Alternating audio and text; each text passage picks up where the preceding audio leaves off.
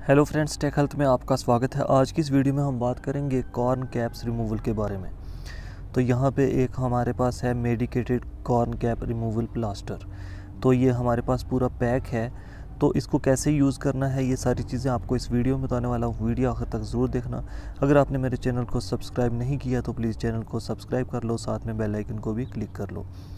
तो इस पैक को हम ओपन करेंगे। इसके अंदर हमारे पास जो प्लास्टर मिलता है, वो देखेंगे और इसको कैसे यूज़ किया जाता है, ये हम सारी चीज़ें इसमें देखेंगे। तो हम पैक को जब ओपन करते हैं तो यहाँ पे हमें मिलता है एक, यहाँ पे ये इंस्ट्रक्शन पूरी दी हुई है।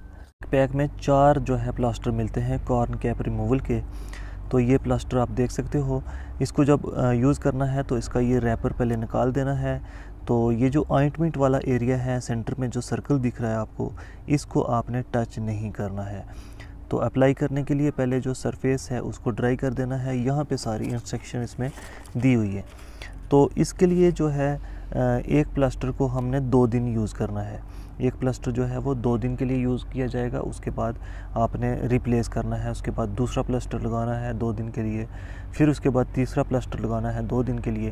तो एटलीस्ट तीन दिन के लिए छः दिन में जो है वो कॉर्न जो है वो निकल जाएगा। अगर नहीं निकलता तो आप ये जो बैंडेज है आपने रिप्लेस करने हैं। तो इसमें कुछ कंट्रा इंडिकेशंस हैं। तो कंट्रा इंडिकेशंस यहाँ पे सामने लिखी हुई है, यहाँ पे आप देख सकते हो। अगर पेशेंट को डायबिटीज़ है तो उस पर ये जो है कॉर्न कैप रिमूवल अप्लाई नहीं करना है। उसके बाद कुछ स्किन की इन्फेक्शंस है या फिर इन्फ्लेमेशन है तो उसमें जो है ये यूज़ नहीं करना है कॉर्न कैप रिमूवल को। उसके बाद सर्कुलेटरी की कुछ प्रॉब्लम है सीवियर सर्कुलेटरी प्रॉब्लम है तो उसके लिए भी जो है इसको यूज़ नहीं करना है।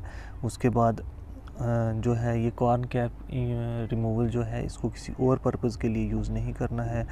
और अगर आपने इसको यूज़ करना है तो पहले एक बार मेडिकल जो है, वो एडवाइस ले लें। तो खुद से आप इसको ट्राई मत करें, पहले डॉक्टर की सलाह ही लें। यहाँ पे मैंने ये वीडियो इसलिए बनाई क्योंकि कुछ लोगों को पता नहीं होता कि ये कॉर्न कैप रिमूवल है क्या।